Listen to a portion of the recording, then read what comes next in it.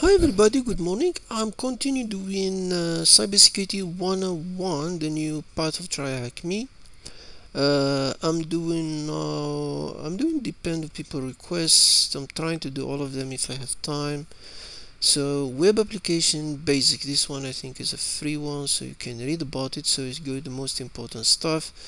Uh, of course, this is what uh, HTTP protocol, all of like the header. use it later on Remember, these are basic things. You don't need to memorize the whole thing. At least you need to understand the concept and use it as a reference later on when you start using web proxy and all of that. So the front end, for example, here talking about HTML. You know, if you know website HTML, this text what you see is an HTML language. CSS usually the style, like when you have this font uh, size and all of that the backend of course the server either you have a database you have the instructor the cloud and all of that and you have of course the firewall for security. So this is straightforward. Which component of the computer responsible? This one is of course that's where you put your stuff in the web server. Uh, how you access an application of Chrome or, or Firefox that they are browsers so web browser uh, which component are protected is a firewall so you can say web application is the question straight uh, three words so we, we, call all of it.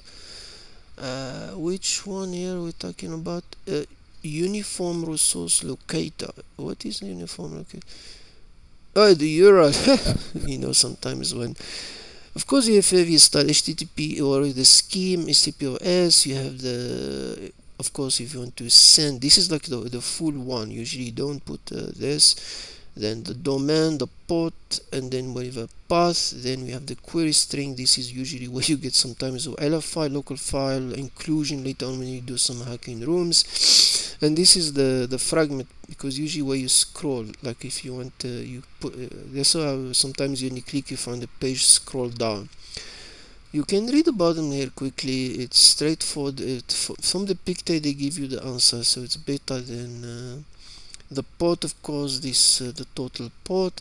So which protocol for encrypt uh, the encryption of course you need to go with HTTPS so what term describe the practice? Okay this is people sometimes they for example you can website called tryhack. Me I can register something called tryhack and remove the e so to trick people this one is what they call it typo quadrant so try to trick people with the name even sometimes they use different language. What part of the URL uh, passes yeah usually this is the part where it's dangerous part the the, the query string uh, usually that's why we go sometimes injection. When you go to the, the rooms later on uh, what's this http messages uh, you have a request? Where you send a response usually a request like post or get or get request or something like that. Sorry guys the response usually say it's okay or not found or all of that type. So it give you of course the time the header the empty line is a line to divide the separate this this uh, usually you have an empty line here. The body for example for the post request uh, okay what, which HTTP me message is returned by the web server? Yeah when you send you get a HTTP response. No, I'm not sure is uh, with an S without an S let's see. Okay S what what follow the header in HTTP message? Uh, it followed an empty line you can see uh, message they all both of them have the, the empty line so that's how the standard. So it, this is standard it's not like some kind of uh, request line and method. A request of course here you have a get request the path HTTP version we have also two now for more security. Then this is the head of all this the host user agent accept uh, what type of data accept the connection the cookie upgrade and secure. These are a lot of things we can uh, that can be held at this you just need to understand them. Don't need to memorize them. So it's this is like a, a type you can send request post delete. Most of the time is get and post. Uh, HTTP version no I said two three three now is 20 is based new protocol but we still mostly use this one the old one so which HTTP protocol version became widely adopted? Adopted one is this one. It's uh, it's most used now, but there's some switching to the newest one, but not. Which HTTP request method describes the communication option for the target resources, allowing client to determine which. This one is the option if I'm mistaken this the option one because if you don't know what the, the server accept you send him an option it will tell you I, I accept post get or wherever usually we use it if when when you do enumeration in HTTP request which component specify the specific resource or endpoint on the web server that the client requesting uh, yeah this one is what we have in the picture the the the, the, the path here but with the technical term we call it. The URL path yeah.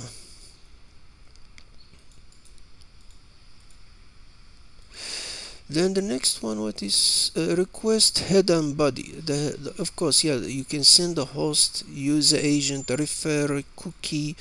Yeah, that's we put password the type of content so this is an example of it. It's good to know them because when you have a start doing burp suite or something you can that's why sometimes you intercept uh, the request and you can modify this. You can for example you remember this room.sqlmap you can use this one to for example i want to do sql injection in one this element.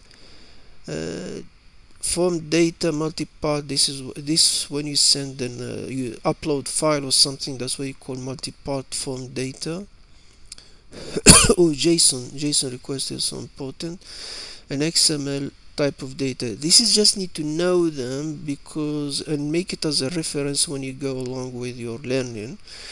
Which HTTP request has specified the domain name uh, this is the host that's why we have it here. That's why it, it's there that's always the host name.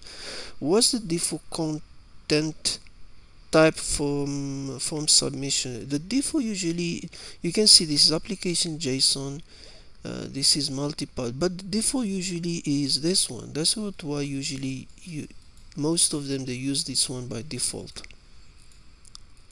Now which part of http request contain additional information line host user agent and all of that? Um, uh, where is the technical term? Not request body is request header. That's why you get all this info there. Uh, I'm not sure but they're using the letter S or without S. Okay accept the S. Then of course the response here the status code. You get 200 500 not found server internal error on all of that? This one also is good to know the to know these things because when you do enumeration it gives you idea what exactly is going on. Uh, like for example this one is always meaning the page exists moved permanently not found. This one also sometimes give you something about the server like you crash an application or something. This also is interesting. And then um, which what part of an HTTP response provide HTTP version status code? Um, what that technical term? That's the one. So the status line. And then which category of HTTP response code indicate that the web server encounter an internal issue or this is a, a server error response? Uh, where is it uh, yeah this is the server the category that uh, it's also give you an idea about how the server is reacting. Sorry. Not found is the well it's well known for 404 so it's response header we did the response status response header and body. This is http header response. You the content where usually yeah the time the content the server it give you the server name. That's sometimes when we do uh, hacking. Uh, you see this to know if the server version to give you server version you can google it if there is uh, any vulnerability in that server version. Uh, other comment yeah the server if you log in it give you the cookie starts uh, adding the cookie and here's where the most uh, this is the things that for example if you notice because you can steal cookies or something but if it's http only and then there's flags secure this is the flags that server can add against uh, manipulation.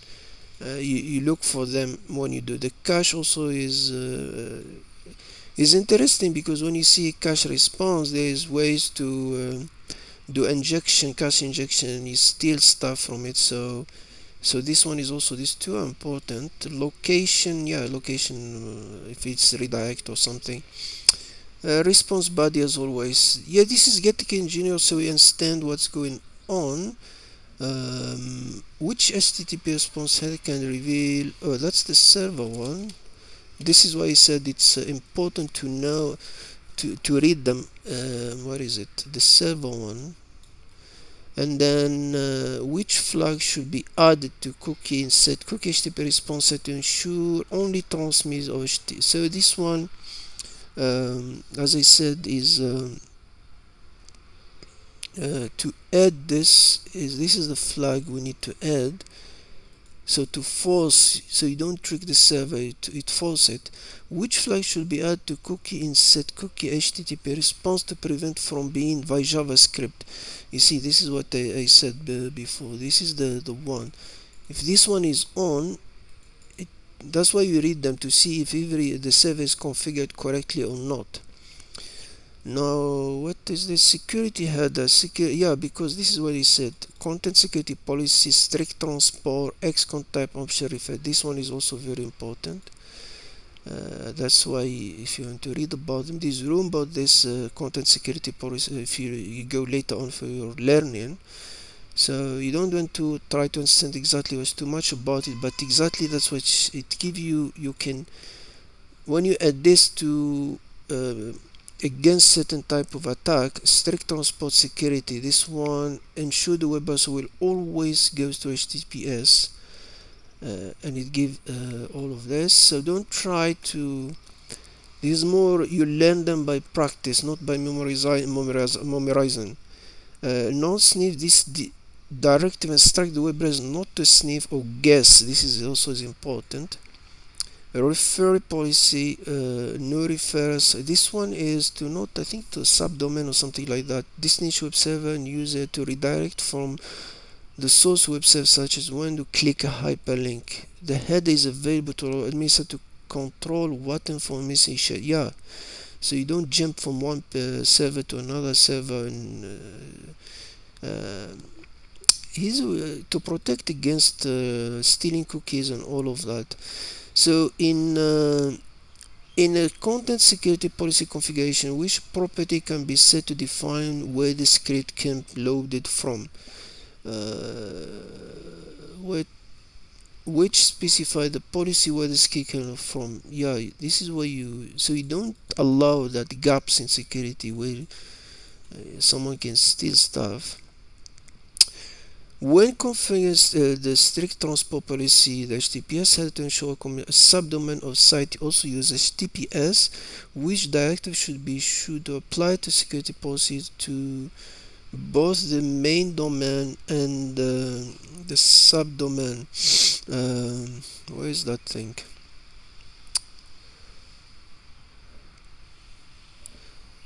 Uh, this one to include the subdomain so you need to to add this one. And then which HTTP header directive is used to prevent the browser from interpret yeah you don't want to interpret. You need to force it to uh, this one. Instruct the browser not to sniff or guess. And here they give us a lot of simulation about uh, let's do the simulation I was playing with it just now. What uh, what it said? Uh, yeah, like for example, I get get request. They said send get request to users, so you can change that one, and then send get request uh, doesn't need the. Um, um, and you say here's they give us the first flag, so we can take that one. And then make a post request. You remember post need a body need data to send. This one I was sending it now so ignore it. I will do it again. So you go here to configure. Let me remove this so we can uh, uh, okay just proceed. I removed it so if I send now I find nothing. So he said change the country. The, the country key is country and I want to change it from UK to US so I put US and then press save here. Don't forget to press save. Then I press proceed and then because it's post we did a request. I have the country so I can just press done. Uh, why is not going?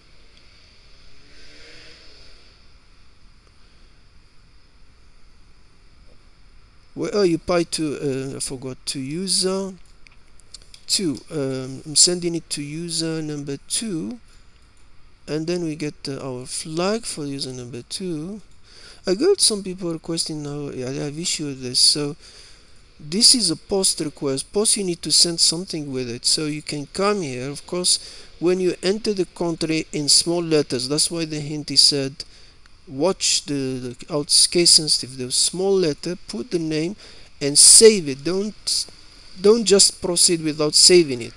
So if I remove this and say proceed and press here uh, because uh, it remember what I was doing. So I don't know how to refresh this. So basically you, you need to add your country country there.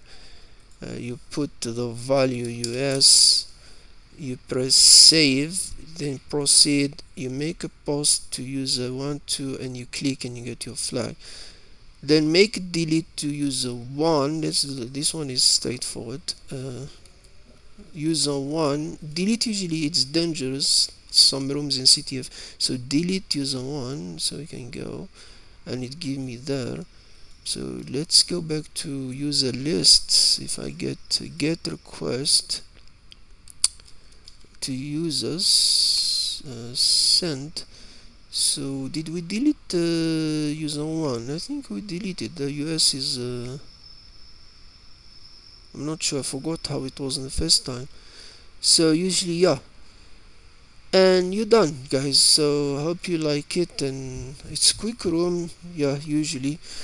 Thank you very much. And if you have question please let me know. And uh, yeah. Yeah it's, it always freeze when you do this uh,